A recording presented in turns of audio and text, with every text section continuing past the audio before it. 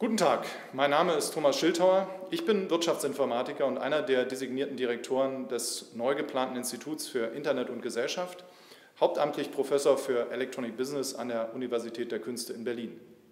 Wie wir wissen, hat das Internet als Innovation schrittweise eine Industrie nach der anderen umgekrempelt. Und wir forschen hier schon relativ lange an dem Bereich der Musikwirtschaft und den Veränderungen durch die Digitalisierung. Wie die Erfindung des Buchdrucks, der Dampfmaschine oder des Autos wird die Innovation Internet alle Bereiche der Gesellschaft berühren. Wer heute 13 ist, besitzt höchstens noch CDs mit Kinderliedern ähm, und hat vielleicht noch nie in seinem Leben einen physischen Brief geschrieben. Und wer heute 27 ist und studiert, wäre ohne das Internet nicht durch sein Studium gekommen. Wer heute 46 ist, der fährt morgens im Büro als erstes seinen Rechner hoch und kann kaum ohne sein Handy oder ohne ein Smartphone auskommen. Weil wir das Internet nutzen, ändern wir unser Verhalten und unsere Erwartungen. Und immer seltener werden jene alltäglichen Bereiche, in denen wir das Internet nicht nutzen. Und was bedeutet das für unsere Gesellschaft und was lernen wir über den Weg, den das Internet nimmt? Mit dieser und verwandten Fragen werden wir uns im Institut für Internet und Gesellschaft beschäftigen. Meine besondere Aufgabe innerhalb des Instituts wird das Thema Innovation sein. Denn das Internet ist nicht nur dazu da, um Probleme zu lösen und ähm, neue Innovationen zu schaffen, sondern ist eine wichtige Plattform, auf der letztlich über das Internet auch neue Geschäftsmodelle möglich werden und neue Formen der Zusammenarbeit geschaffen werden. Ein schönes Beispiel ist die von einem meiner ehemaligen Studenten gegründete Open Innovation und Crowd Creation Plattform Juvoto. Auf dieser Plattform sind mittlerweile mehr als 20.000 Kreative versammelt, die täglich Aufgaben an Aufgaben arbeiten, die einen hohen Grad an Innovativität und Kreativität verlangen.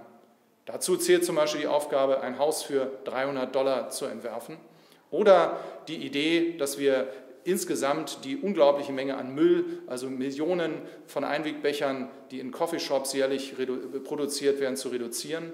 Oder auch die Frage, wie könnte ein weltweites Logo für Menschenrechte aussehen. Das Internet ermöglicht hier eine völlig neue, schnelle und einzigartige Weise der Gestaltung und Ideenentwicklung von Kreativen.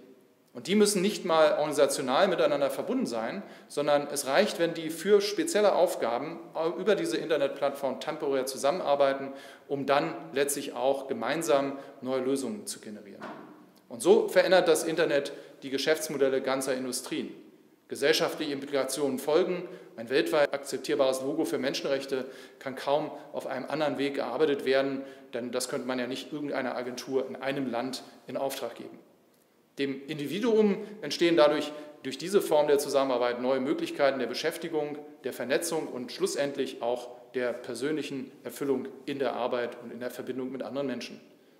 In Island im politischen Bereich entsteht derzeit eine neue Verfassung mit Hilfe von Crowdsourcing und Crowdvoting. Öffentliche Sitzungen werden im Internet übertragen, die Entwürfe der Verfassung sind auf einer Webseite einsehbar und letztlich können sich die Menschen dann anschauen, was über Facebook und Twitter an Kommentaren kommen und interessierte Bürger können sich beteiligen, können Vorschläge kommentieren und diskutieren. Der fertige Gesetzentwurf soll dann zur Volksabstimmung gebracht werden. In diesem Zusammenhang gibt es auch Überlegungen von uns, dieses Phänomen für die wissenschaftliche Arbeit weiter zu öffnen unter dem Stichwort Open Science.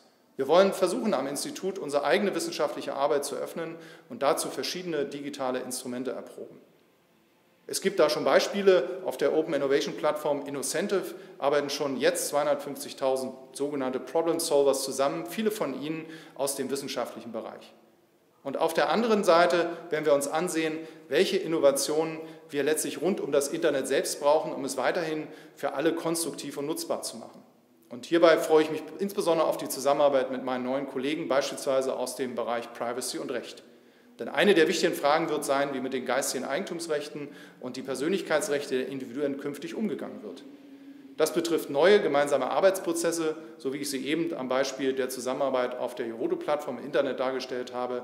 Und es stellt sich aber auch die Frage nach der Privatheit jedes Einzelnen. Wie stellen wir künftig sicher, dass jeder das Recht und die Möglichkeit hat, selbst zu bestimmen, wer welche Daten von uns im Internet verbreiten darf und kann?